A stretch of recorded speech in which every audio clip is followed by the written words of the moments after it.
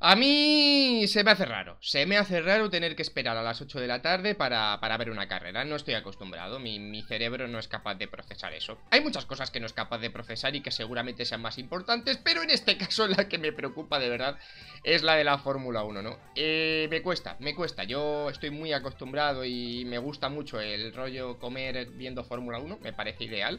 Me parece que debería haber un acuerdo entre todos los partidos políticos de este país para establecerlo como como artículo principal de la Constitución, que sé que no tienen poder legislativo sobre la Fórmula 1, pero deberían trabajar un poco en este aspecto si quieren ganarse mi voto, y, y si no, y si no, me gusta más que sea por la mañana. Y sé que soy raro, y sé que muchos preferís que sea por la tarde, por lo de no madrugar, pero yo prefiero madrugar un poquito, eh, porque cuando es por ver Fórmula 1 no me duele, y luego tengo el resto del día para asimilar lo que ha ocurrido en el Gran Premio, ¿no? Porque a las 8 de la tarde, y normalmente acaba la carrera, te acuestas y, y no procesas bien las emociones de, un gran premio, ¿no? Salvo que sea el de Paul Ricard, el Gran Premio de Francia, que las procesas rápido, ¿no? En 30 segundos te das cuenta de que lo que has visto es basura. no, somos el club de fans del Paul Ricard. ¿Qué has dicho, Paul? ¿Estás loco? ¿Te imaginas que hay un club de fans del Paul Ricard? No, hombre, no, no todos los grandes premios de Francia son malos, ¿no? Algunos son eh, medianamente regulares y ya está. Y nos conformamos con eso. Pero no vengo a hablar de... No vengo a criticar el Gran Premio de Francia, no sé por qué empezó así. Empezó muy agresivo con el Gran Premio de Francia, no me ha hecho nada. Eh, no me ha hecho nada ni por divertirme siquiera. en fin, vamos a dejar el Gran Premio de Francia en paz. Cuando llegue el año que viene volveremos a meternos con él un poquillo, que ojalá de verdad me equivoque algún año y dé un carrerón, pero es que no lo veo. Y vamos a hablar de lo que va a ser la carrera de dentro de un rato, porque este vídeo tengo intención de publicarlo sobre las 3 de la tarde, luego Dios dirá cómo, cómo, cómo se publica, porque yo, en mi cabeza, en mi cabeza el planning de este canal es espectacular, de verdad, no os lo podéis imaginar. Luego la realidad se ejecuta como se ejecuta, pero en mi cabeza está ordenadito que da gusto. Pero yo creo que esta vez sí voy a llegar y vamos a hablar de lo que va a ser la, carrera de dentro de un rato, ¿vale? Este vídeo, insisto, estará publicado a las 3 de la tarde, espero, en Fórmula Fons, eh, su canal de motor de, de confianza. Y quiero hablar de lo que ha sido la clasificación y lo que espero para esta carrera, porque hay cositas, han pasado cositas y, luego voy a tardar bastante en hacer los apuntes, porque por distintas circunstancias esta noche a mí me va a costar mucho ver la carrera, así que igual tengo que verla mañana por la mañana en diferido, no lo sé aún. El caso, yendo a lo meramente deportivo, eh, Ferrari ha perdido su racha de poles. ¿Os acordáis que por lo menos se conformaban con ser más rápidos los sábados? Bueno, ya ni eso, ¿vale? Ya, ya tampoco. Y, es gracioso porque después de toda la semana de investigación de la FIA, de que haya dicho Ferrari, venid a investigarnos, que no hay miedo. Justo así ir a investigarlos si han perdido la pole, ¿vale? O sea, no, no quiero ser malo, no quiero pensar que tuvieran nada ilegal, porque realmente si lo hubieran tenido, les hubiera caído una sanción, ¿vale? No, no, no creo que la Fórmula 1 sea una república bananera total, creo que todavía hay normas y se, se tienen que cumplir, pero evidentemente algo han perdido, o sea, o algo han... Uh, algo no hay en ese motor o en ese coche que sí había el fin de semana pasado. Eh, es raro que en el sector 1, y bueno, el sector este el de la recta otra que hay larga, la recta de atrás, no hayan, no hayan batido récord de sector, porque normalmente Ferrari en rectas es una bala. Y esta vez pues no, de hecho creo que no tienen ninguno de los sectores más rápidos, ni Leclerc ni Vettel, así que es raro, ¿vale? Es raro. Oye, puede pasar, pues simplemente Mercedes ha mejorado un poquito, Red también está muy bien y ya está. Pero es raro que Ferrari haya perdido su racha de poles y no solo la racha de poles, sino la primera línea, porque el primero va a ser Botas, que bien, rápido otra vez Again, eh, ha llegado tarde quizá, ¿vale? Ha llegado tarde, o sea, empezó muy bien la temporada, tuvo una mitad de temporada bastante regulera y ha vuelto a activarse ahora cuando ya es bastante tarde, pero bueno, más vale tarde que nunca, eh, hizo la pole, lo hizo muy bien, y el segundo fue Verstappen, a 0.067, o sea, es decir, a nada, y, me gusta ver que Red Bull... Eh, hay momentos de la temporada donde se acerca, y quizá no lo suficientes, quizá no de la forma más constante del mundo como para darnos un mundial a tres escuderías, pero bueno, más vale que esté de vez en cuando que, que nunca, ¿no? Al menos nos da ese ingrediente extra que siempre es Max Verstappen, que ayer en clasificación, voy a comentar un poquito el incidente del que muchos hablaron, me pareció bastante absurdo lo que hizo con, con Hamilton. Sinceramente Hamilton creo que no hace nada malo, eh, va a adelantar a Kvyat porque está el hombre en su vuelta lenta, y Verstappen de verdad que no sé qué intenta. Hombre, yo doy por hecho que Verstappen no vio a Kvyat y que pensó que Hamilton no iba a tirarse por el interior. Pero es que no, no entiendo, no, entiendo. O sea, no entiendo cómo para buscar tu vuelta eh, buscas adelantar al coche delante cuando es más fácil frenar un poquito, dejarle espacio y tirar tú. No, no, lo entiendo, y sobre todo cuando faltaban, creo que dos minutos para acabar la Q2, que podía tener tiempo para otro intento perfectamente. No lo entendí, no entendí muy bien el gesto. Insisto, doy por hecho que, Verstappen no vio el coche de Kvyat, pero aún así eh, son muchas en el historial de Verstappen. Y habría que empezar a plantearse meterle una sancioncita. No digo por lo de ayer, ¿vale? Lo de ayer no me pareció para sanción. Pero hay que empezar a ver cómo se calma este muchacho Porque es muy bueno, es de los mejores pilotos de la parrilla eh, Para mí, ya lo digo lo digo siempre, no me importa decirlo Me gustaría que hubiera 15 Verstappen en parrilla Creo que la Fórmula 1 sería mucho mejor pero hay cosas que hay que tener cuidado, ¿vale? Hay cosas que hay que tener cuidado y si desde el equipo no le llaman la atención, como es el caso, ¿vale? Porque evidentemente también es su única baza para ganar carreras, porque Albon demasiado está haciendo, ahora hablamos de él. Eh, si no llama la atención desde el equipo, o sea, tienen que llamar desde, desde la FIA, ¿vale? O sea, tienen que llamar desde dirección de carrera y, y, dejarle claro que no puede hacer lo que quiere, ¿vale? Simplemente dejarle claro que no puede hacer lo que quiere. Pero bueno, que no es una crítica a Verstappen, de verdad, que la agresividad que tiene es muy buena para la Fórmula 1, pero las sesiones de clasificación son para clasificar, ¿vale? No, para, no para adelantar a otros coches, así que hay que calmarse un poquito. Luego también tenemos a Hamilton, que hizo, hizo quinto puesto, ¿vale? Por detrás de los, de los Ferrari, solo por delante de Albon en el top 6. Eh, top 6. O sea, no he dicho ni 6 ni 6. He dicho top 6, que es la nueva forma de referirse a este, a este número. Eh, bueno, Hamilton está tranquilo. Hamilton está tranquilo porque sabe que va a ganar el Mundial este fin de semana, salvo que el coche se rompa y Botas gane. Y con esa tranquilidad pues puedes hacer lo que quieras. Y aún así no descarto que entre en podio. De hecho, luego en la porra le he puesto, luego os comento el podio, ¿vale? Eh, creo que tiene muchas facilidades para llevarse, para llevarse el mundial, demasiadas. Y creo que está muy tranquilo y la tranquilidad hace que no arriesgues en las curvas como para luchar por una pole. Aún así todos estuvieron muy apretaditos, creo que no fueron más de tres décimas entre los cinco primeros.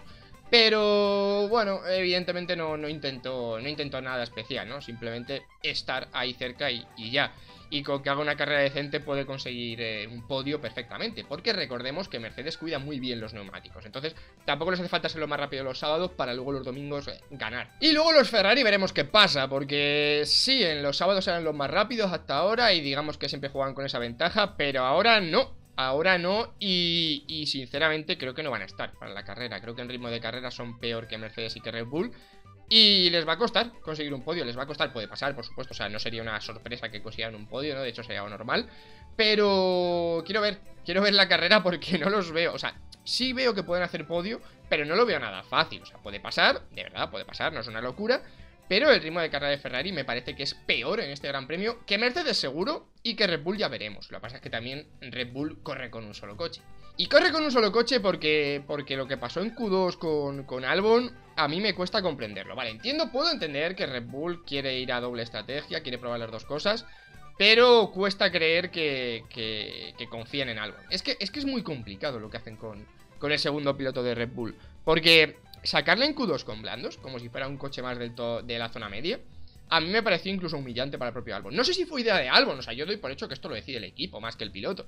Pero me pareció como decirle, bueno, sabemos que no puedes competir con Verstappen ni con el resto del top 5, así que métete al menos sexto. Me pareció un poco hasta ofensivo para el propio para el propio Albon, que sí, hizo sexto, estuvo lejos de los otros 5, pero es que lleva 10 minutos en Fórmula 1. Es que le han subido muy rápido a Red Bull, demasiado está haciendo. Yo no voy a criticar a Albon, porque lleva muy poco tiempo en Fórmula 1 y sinceramente no ha cometido ningún fallo. Las veces que se ha chocado o que ha perdido el control del coche, ha sido en sesiones de libres o de clasificación, y luego en carrera siempre lo ha hecho bien.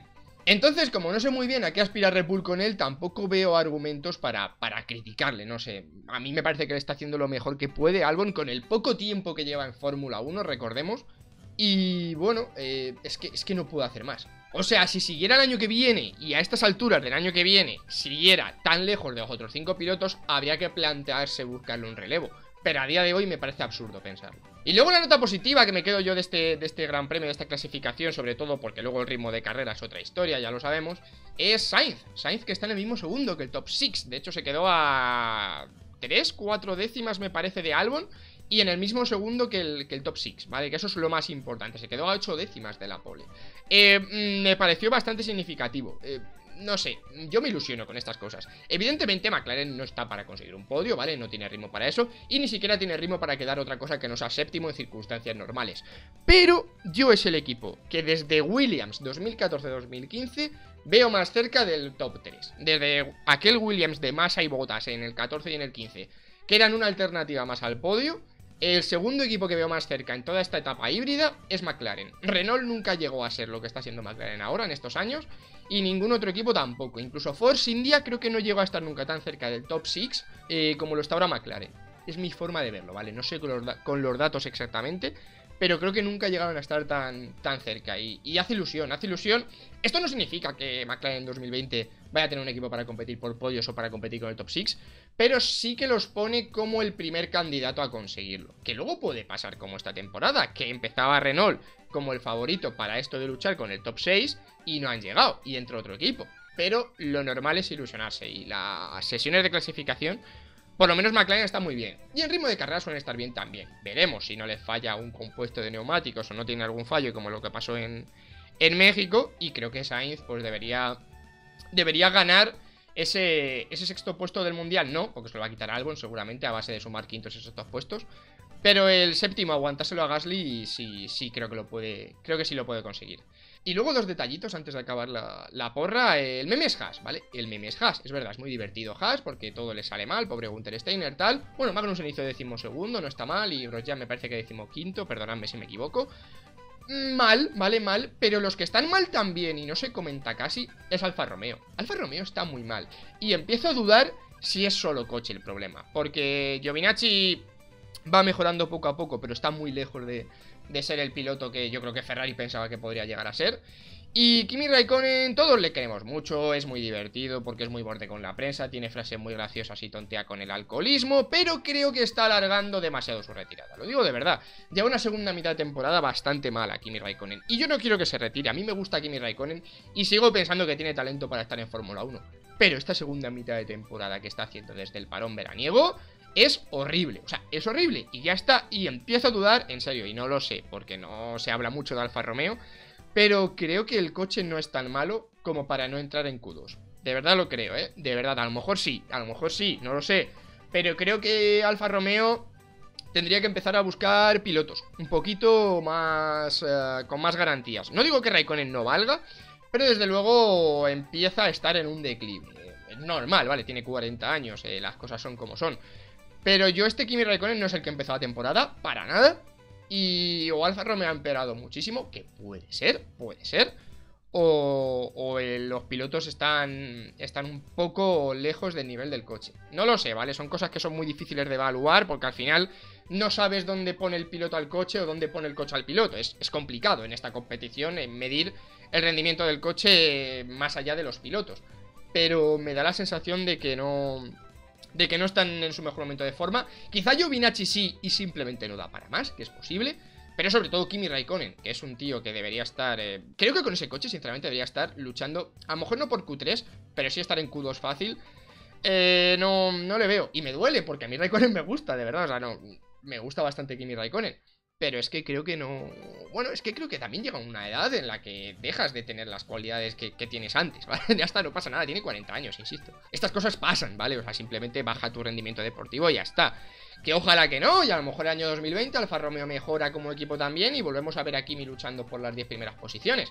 Pero es que me está costando verlo. No sé, igual Alfa Romeo debería ir planteándose alguna alternativa. Recordemos que Hulkenberg el año que viene no tiene equipo. Igual no es una locura meterle en Alfa Romeo y ver si puede aumentar la cantidad de puntos que, que se embuche Alfa Romeo. Hace mucho que no escucháis la palabra embuche, que sí? Pues ya la traigo yo de recuerdo. Y luego más cositas, ¿no? Renault, que bueno, ahí están, tirandillo, como siempre, ¿no? Eh, bastante regular para lo que debería ser Renault este año, pero bueno, tampoco es un descalabro total, es un descalabro a medias.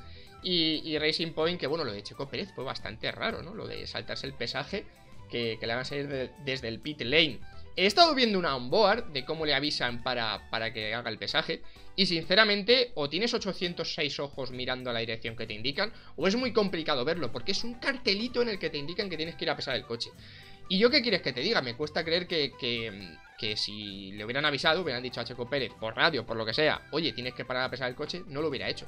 Pero es que si todas las señales son ese cartelito, lo normal es que te lo saltes. O sea, yo es que no, lo he visto ni en la onboard. O sea, sabiendo lo que iba a haber, sabiendo que iba a haber un aviso de, de, pesaje, yo viendo la onboard no me he fijado en el detalle. He tenido que verlo dos veces para verlo. Así que, no sé, igual la FIA tendría que plantearse que, hay que avisar de una forma más visual a los pilotos de estos, de estos trámites, ¿no? Pero bueno, saldrá desde el pit lane. Es una lástima porque creo que estaba recuperando el ritmo Racing Point en las últimas carreras. Y, bueno, ya veremos qué pasa. Entonces, para ir acabando, básicamente, mi porra, ¿vale? Mi porra de final de carrera Teniendo en cuenta que Botas sale primero y Vettel segundo Y que estuvieron muy cerca en ritmo de clasificación Creo que van a quedar así. Botas primero, llevándose la victoria. Vettel segundo, eh, no le veo que vaya a tener ritmo como para competir la Botas Y creo que tercero va a ser Hamilton, que, va a tener ganas de llevarse el podio por lo menos. Y creo que Leclerc y Verstappen eh, igual no tienen esa experiencia que les puede hacer quedarse con el podio antes que, Hamilton. No, no sé. Y tampoco, insisto, el ritmo de carrera de Mercedes creo que va a ser muy bueno. Así que ese es mi porra, ¿vale?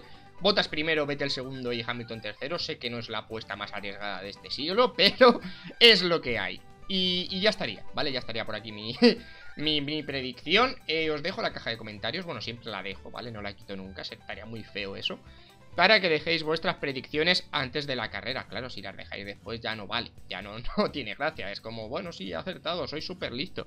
No, no, no, no, no vale. No vale, además que yo veo la hora lo que lo publicáis, entonces no, no cuela. Así que, en fin, eh, esa es mi, mi porra. Botas primero, el segundo y Hamilton tercero. Es verdad que salen todos muy pegaditos, pero es mi forma de ver cómo va a acabar la carrera, es mi predicción. No soy muy bueno haciendo predicciones, ¿vale? Pero me, me parece entretenido hacerlas y siempre da para un debatito sano e interesante. Tengo un montón de redes sociales para que me sigáis. Os espero en todas ellas, ¿vale? Tengo este canal para que os suscribáis con una oferta muy especial. Si os suscribís este mes, o si ya estabais suscritos también se aplica, os empiezo a avisar de los vídeos que se van publicando en el canal. Sobre todo si le dais a la campanita, ¿vale? Aumentáis vuestras opciones. Es, una oferta única que he llegado a un acuerdo con, con YouTube Españita para, hacerla solo para vosotros, ¿vale? Así que nada, ahí os la dejo, yo que tú no la desaprovechaba.